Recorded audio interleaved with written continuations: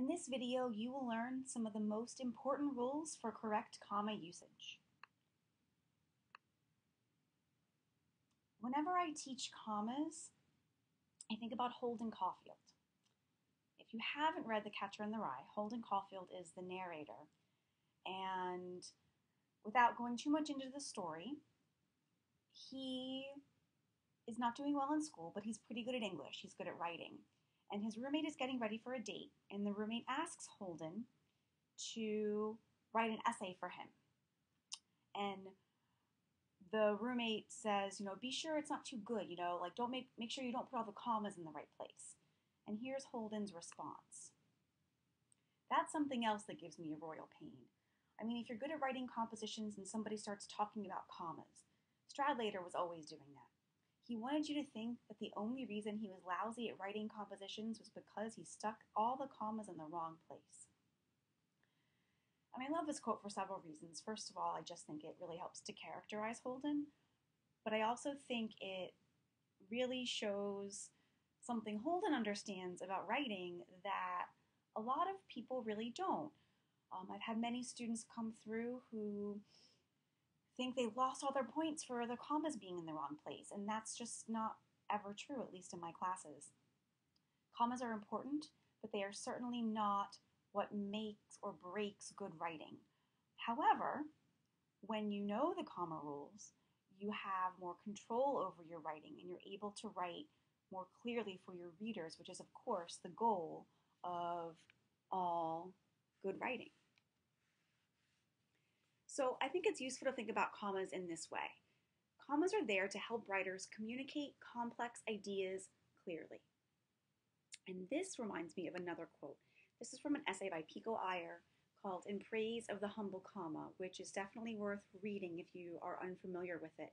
Here's a small excerpt. Just notice how it sounds and then come back and look at how the punctuation is operating. A world that has only periods is a world without inflections. It is a world without shade. It has a music without sharps and flats. It is a martial music. It has a jackboot rhythm. Words cannot bend and curve. A comma, by comparison, catches the gentle drift of the mind in thought, turning in on itself and back on itself, reversing, redoubling, and returning along the course of its own sweet river music. So when we go back and look at this, you know, the first time we saw it or heard it, we could probably hear that that last sentence, which is only one sentence, is really long and melodic. The first several sentences, in fact, it's one, two, three, four, five, six sentences, are short and choppy. So, of course, the writer constructs it this way to illustrate his point about the way that commas kind of give us flexibility I think it's also useful to look at the sentence in which he includes commas and to imagine the sentence without commas. So let's actually do that. Here it is, just that last sentence without the commas. So try reading it out loud. And the fact that you just heard it is probably going to help you get through it. Just notice if it feels any different to read without the commas.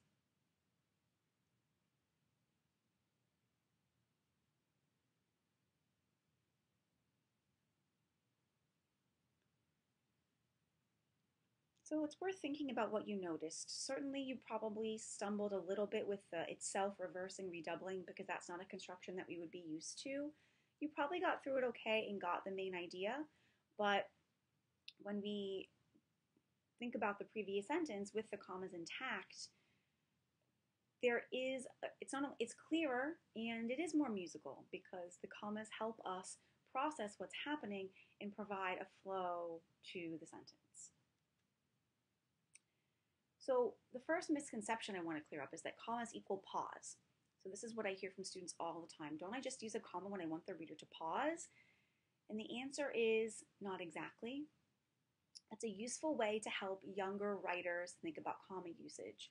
But if you're in high school and you want to go to college, you really need to think about how commas really aren't just for a pause, they serve more specific purposes. Yes, they can be for pausing, but that does not mean you stick a comma in anywhere you want to pause. And it also doesn't mean that just because you don't want to pause that you don't use a comma. The comma rules are there to help guide readers clearly through the writing, which is why it's important to follow the conventions. That's what conventions really are. It's a set of rules that everybody kind of agrees upon. This is how it's going to be done. And although those things can change over time, and while comma rules are some of the most unstandardized rules in the English language, if we look at what commas are really kind of there to do, it makes logical sense. So let's look at a fun example. This is actually kind of a, it's a meme, a t-shirt, it's a joke. Let's eat, Grandma. So in the sentence, we're talking to Grandma. It's dinner time. Come on, Grandma, come have dinner. In the sentence without the comma, let's eat, Grandma. There's no comma, which makes Grandma the direct object, which means they're going to eat Grandma, or Grandma is going to be our main course for dinner. And the tagline is use commas, commas save lives. While this is really clever, I think it more importantly shows how commas are more than just a pause. We could pause there or not, but when we see it written, it becomes clear that the pause isn't all that's important to understanding the meaning of the words and how they're operating together in the sentence. I think it's much more use, much more useful to think of commas as kind of like screws that writers use to connect words, phrases, and clauses into larger, more complex structures.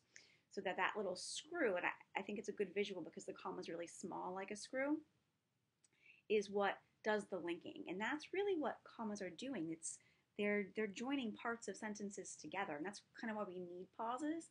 It helps us break up the flow in a longer sentence, but the rules governing where the commas go are important to clarity in your writing.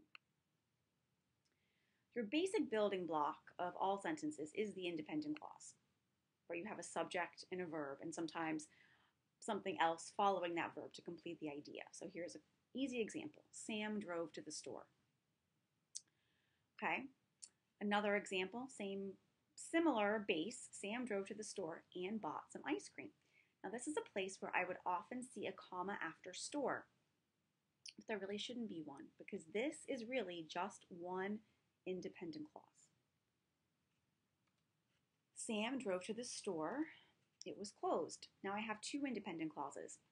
Perhaps, as I'm revising my writing, I think I want to be able to show a more specific relationship between these two really short sentences. I'd like to join them together. Enter the comma.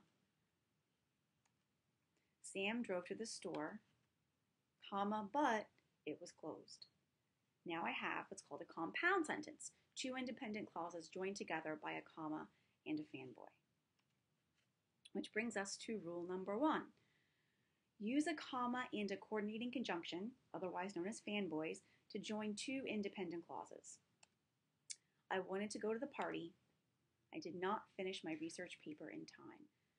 Reasonably, we can infer there's a causal relationship here, but we probably should make that very clear for our readers. So we add a comma but. All work must be submitted on time. The teacher will not accept late assignments. Again, there's clearly a relationship here. It seems like a cause and effect relationship.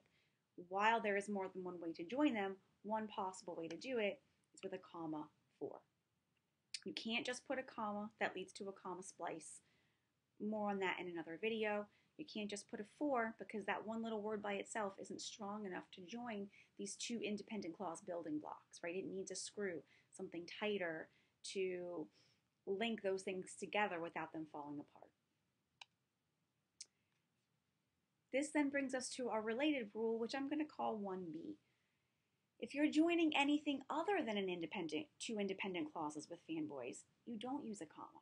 So it's the fanboys plus a comma are for independent clauses only, not every time you use fanboys. We turned up the music and began to dance. This is a simple sentence. It is one independent clause. What I sometimes see is we turned up the music, comma, and began to dance because maybe the writers decided they want to pause here. But that's misleading to your readers because this is what it kind of means. We turned up the music, began to dance. If the comma is there, it's kind of like a screw. That means I can take it out and I can separate the parts and they can each become their own sentences again. They can stand by themselves. But began to dance is not a complete sentence. It's not allowed to be out there all by itself. It needs something to join to. So when we put a comma in there, we are separating it from the rest of the sentence, which is problematic because now we don't have two complete sentences. Rule number two, use commas after introductory words, phrases, and subordinate clauses. Frustrated, Ken abandoned his shopping cart instead of waiting in the long line. I could not put a comma there and it would be frustrated Ken. So kind of like an epithet or a name for him. That's probably not, though, what we're going for. So I need a comma. Frustrated by the long line, Ken abandoned his shopping cart. I need a comma there. It's an introductory phrase.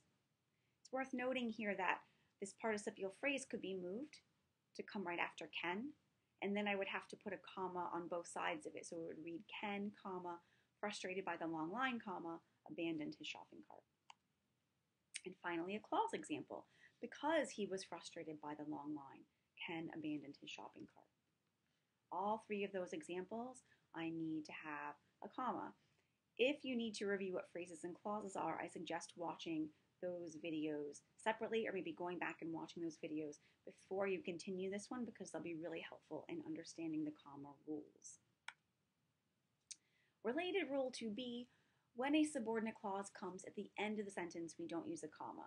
So this is kind of true, generally speaking, um, for subordinate clauses, specifically adverb clauses when they come at the end of the sentence.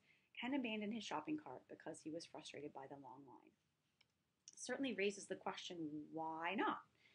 If we're following the logic that a comma is a signal that we can take something away and still have you know, a sentence that makes sense, wouldn't a comma work here? Yes, but that little idea, that visual of the screw is only meant to be helpful, a helpful trick, right? It's only helpful to a point. It's not really the rule itself. A lot of the comma rules have to do with guiding a reader. So while we can theoretically take away the subordinate clause, we don't need the comma to understand the sentence. Readers expect that whatever comes first in the sentence is really going to be the subject. It's the main clause. When I start by meeting readers' expectations in that way, in other words, when I start with the independent clause and I add things to the end, I often don't need commas to separate the independent clause from those things because I'm meeting reader expectations and therefore I don't need an extra signal to guide them through the sentence. Rule 3, use commas to separate the items in a series. I look for my phone in the kitchen, in my bedroom, and in my purse. So I need a comma after kitchen and a comma after bedroom. Steve, Alex, and Josie baked a cake to celebrate the upcoming school break.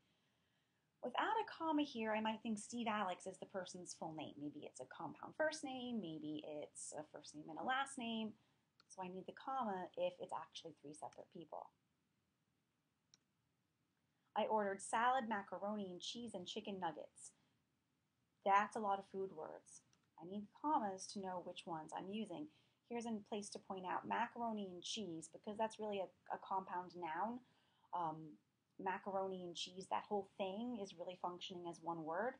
I don't separate, I don't put an extra comma after macaroni. It's the same thing with peanut butter and jelly, spaghetti and meatballs something, foods that are kind of served together and known to be served together with an and, you don't separate those things with an extra comma. What about the Oxford comma? Everyone likes to ask about the Oxford comma. The Oxford comma, more generally referred to as the serial comma, is the comma before and in a series. This comma is often considered optional as long as the meaning of the sentence makes sense without it. As a side note, I personally tend to always use that comma because I feel it's safer to use it than to not use it because not using it can sometimes lead to unnecessary reader confusion. Steve, Alex, and Josie baked a cake to celebrate the upcoming school break.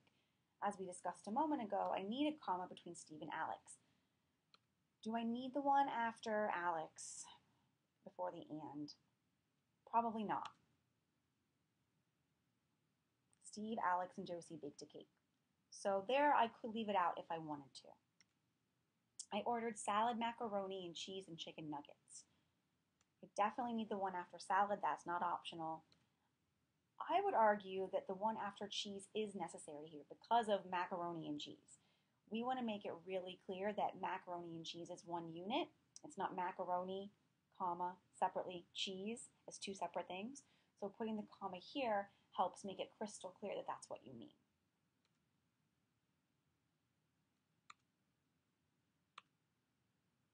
Rule 4. Use a comma to separate two or more coordinate adjectives that describe the same noun. A coordinate adjective is when you have two or more adjectives of equal status that describe one noun. Um, they're coordinate because they're equal. Neither adjective is subordinate to the other. You can decide if two adjectives are coordinate by asking the following questions. Number one, does the sentence make sense if the adjectives are written in reverse order? And two, does the sentence make sense if the adjectives are written with and in between them? If you answer yes to these questions, then you most likely have coordinate adjectives and you need a comma to separate them. She was a quiet, thoughtful child. Could I say she was a thoughtful, quiet child? Yes. Could I say she was a quiet and thoughtful child? Yes. Bring in the comma. They lived in a red brick house. Could I say they lived in a brick red house? Mm, that sounds awkward. Could I say they lived in a red and brick house? Really, I couldn't do that either, so I don't use a comma. Here, brick is kind of a more important adjective than red. Brick house um, is more of the type of house, and red is, and then an additional, a color descriptive adjective. So they're not coordinate because they're really not equal in status. Number five, use commas to set off non-essential, also called non-restrictive, phrases and clauses from the rest of the sentence. Non-essential or non-restrictive phrases and clauses are those that provide color commentary. So they provide extra information, but that information is really just for a reader interest. It's not there to identify or restrict the noun or pronoun that's being modified by those phrases and clauses. So we're going to look at a few examples so you can understand what this means. My oldest sister, a senior history major, hopes to attend law school after graduation. Okay, so the word group in question is a senior history major. Do I need that word group to know which sister we're talking about? So let's try getting rid of it, unscrew it, cover it up. My oldest sister hopes to attend law school after graduation. I don't need that phrase to know which sister we're talking about. There can only be one oldest sister. That's what the est on old means. So the phrase senior history major, again, it's the color commentary, but it's not necessary to help identify which sister is being referred to. It's not restricting the sister to a particular person. It's already restricted enough by the adjective oldest. Then, of course, the inverse is also true. Do not use commas with essential or restrictive phrases in clauses. So if it's essential, you don't use it because you can't unscrew it and take it away.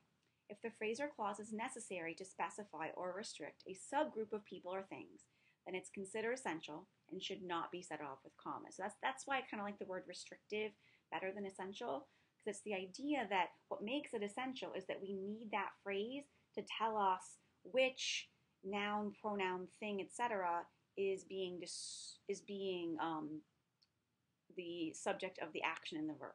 So let's look at a couple examples. The students who qualified as National Merit Scholars won small scholarships. It's clear, I know which students, I know who, who won small scholarships. But if I add commas, then I'm basically saying I can take that away to say the students won small scholarships. But that's really vague. Which students? It can't be all of them. So I really need the other information. Here's another example. Two plays by Arthur Miller are included in our high school curriculum. I put commas around by Arthur Miller, that's a signal that I can take away that phrase. And I'm not changing the meaning of the sentence. Two plays are included in our high school curriculum. That's problematic because that is changing the meaning. Probably more than two plays are included in an entire high school curriculum. Additionally, which plays, it's really vague. I need to know two plays by Arthur Miller in order for the sentence to make sense. A little more Rule 5 which and that are tricky words. These are probably some of the most common comma errors that I see.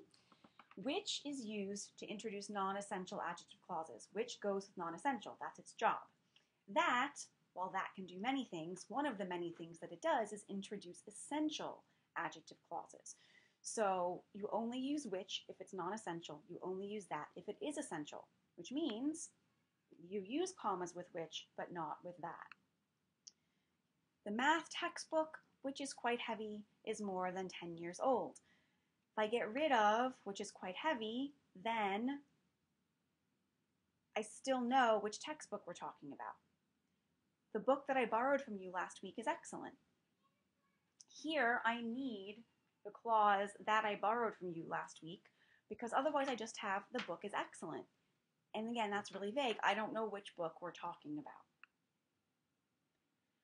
Rule six, use commas in these conventional situations with interjections, with quotations, with specific geographical locations, and with dates. An example of an interjection, yes, I would love to go to the party with you.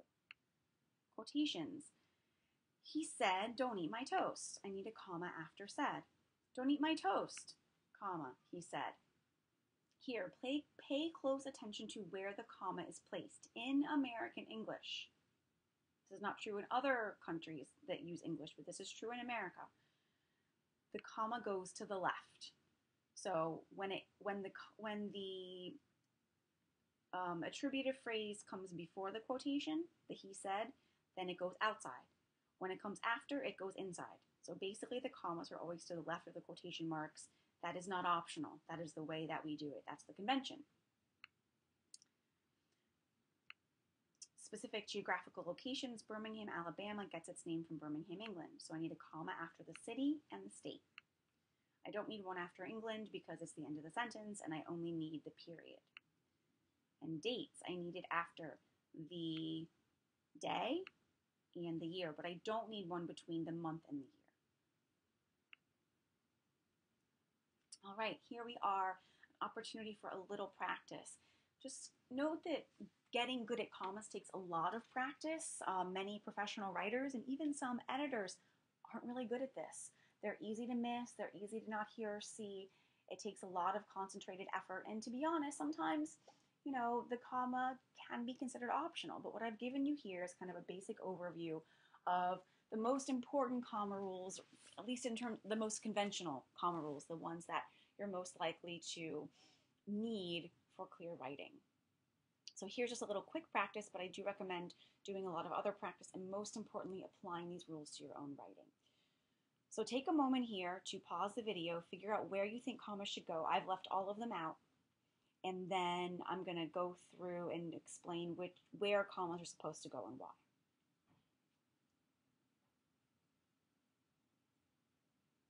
Number one, Amy cut the vegetables and mixed the dressing for her salad. This sentence actually is correct as it is. It doesn't take a comma. Many people would want to put a comma in after vegetables, but that would be an incorrect comma use because while we do have a fanboy, we're not joining two independent clauses. Instead, it's a compound verb, and you don't use a comma with the fanboy for compound verbs, only for compound sentences. Number two, farro, which is high in protein, is a healthy grain that is delicious in salads. Review what we said about which versus that. Which introduces non essential phrases and it takes commas. That introduces essential phrases and clauses. So it does not take a comma. And if we look at the sentence and we do what we're supposed to do with it, that makes sense. So the commas tell me I can take out that group, which is high in protein, and my sentence meaning isn't changed. Farro is a healthy grain that is delicious in salads. Okay, so the which is high in protein is the color commentary. It's telling me more, but I don't need that to know which farro we're talking about. Farro is already specific enough. With healthy grain that is delicious in salads, the that is delicious in salads, I do need to help narrow the focus of the healthy grain. So that's why it's considered to be restrictive. Number three, looking forward to dinner, Alan was dismayed to see the main course was salad. Here I need a comma after dinner because that is considered an introductory element. Specifically, it's an introductory participial phrase that is not essential to the meaning of the sentence. And finally, number four, yes, I would be happy to share this recipe with you. It includes farro oranges and red peppers. So I need a comma after yes because that's an interjection. I also need a comma after farro because it's not farro oranges, it's farro oranges and red peppers. I also included one after oranges just to make it perfectly clear because as I said before, even though the Oxford or serial comma is technically considered optional in some cases, I personally think it's safer to use to avoid issues with lack of clarity. I hope you found this helpful. I know it's a lot of information. You might want to go through and watch it again and do some practice and kind of go through rule by rule. But the more that you practice while applying the rules, the more that you proofread your own writing for these kinds of things, the better you're going to get at using commas correctly.